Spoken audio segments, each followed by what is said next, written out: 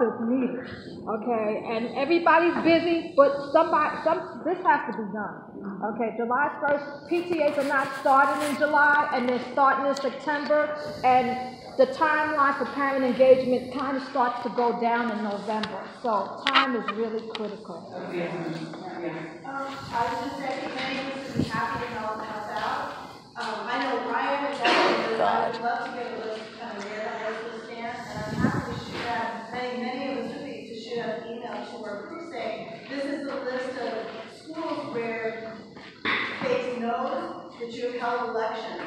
So for the rest of you, please try to hold elections by the end of the year, or make sure you have elections schools will be.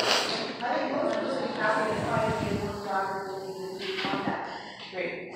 But, um, yeah, we'll, we'll find other ways, as I said before, the PC connections, um, I will speak also with Laura Feijóo, um, to see if they can also send something out to superintendent, you know, we'll look at, what the superintendent teams and so on, so we'll look at different, uh, viable ways. Could I say one more thing? There, there needs to also, another issue that kind of, that I've been talking with people about, is trying to, we have to come up with better strategies to make sure that PTAs have quorum, especially on the high school level, because I know of some PTAs, they tried to do their elections, but there wasn't enough people there. So we have to have strat, you know, talk about strategies to get parents out so that we could complete our elections and make it, you know, we- maybe we have to do a little bit more build-up to try to get the importance of PTAs and recognize them or do something to try to. That's why it's important, the same we talk here about working groups, trying to get, you know, uh, working with parents, just to listen from them. You know, what, what do you think can work for us as a community? Um, because sometimes it could be time, I know that some, some schools, they go out of their way, morning, afternoon, evening meetings and so on. Um, there's some schools that are very strategic where they also have student, um, Awards. uh, award ceremonies, you know, presentations and so on, that, that also encourages. Uh, I'd love, you know, the different strategies, but once again, it's about having the, the feed, getting the feedback from the parents first, and, and then based on that, then following through on whatever we. Yes, I, I'm going to the, the forum, I mean, out on the squad when we actually had forum for, for our elections. What quorum? Um, But, you know, here's an issue, especially if you wait, which is one things which I think encouraging your, your schools to have elections in May, maybe, is that if we give a date to a principal and say, our election is gonna be on June twelfth, then one would hope that the principals would schedule things around that, since they already know that is in place. My particular high school had one of the biggest events of the year, the night before our election. Gave us a week's notice. So, everybody showed up and That, Nobody came up we with sent it. it home the next day.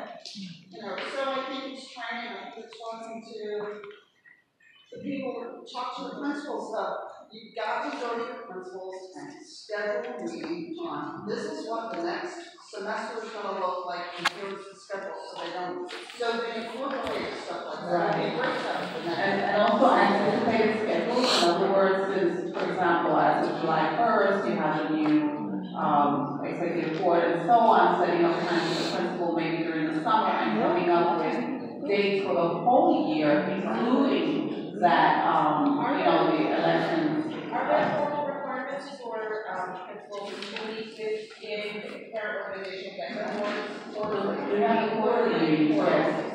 But, you know, that could be a, a special meeting because it's the initial, round, um, before the school year begins this. So I just wanted to say to you that I think that at this meeting, is not what we should be talking about. This should be happening like midway through, so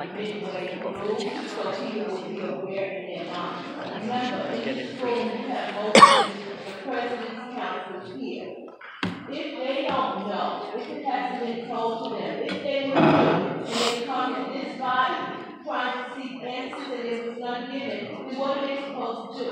I'm also going to say that we, as parent leaders, have to hold our superintendents accountable. Because they have the list of every parent in who they are representing. Okay, they said we have, we have the principal, we have this and whatever. But if that is not shared Nancy always said this, if it's not shared with the president's council, then what are they supposed to do? You have parents that come. I know when I was on the PTA and the president's council, what I made sure is nothing else. You gotta have those people that come continuously, that you stay in contact, so you always have your quorum met for anything that you do. When I was in school, I had ten parents that I knew I could rely on in a moment's notice to come and assist in any kind of way.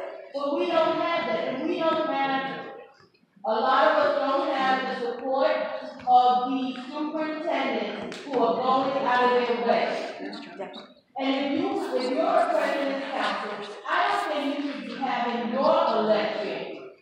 Before you know that the majority of your constituents have had this. I. Okay, and the other thing is that have you also continued to bridge the partnership with, um, CECs, like, for example, um, at the CEC meetings also, if they can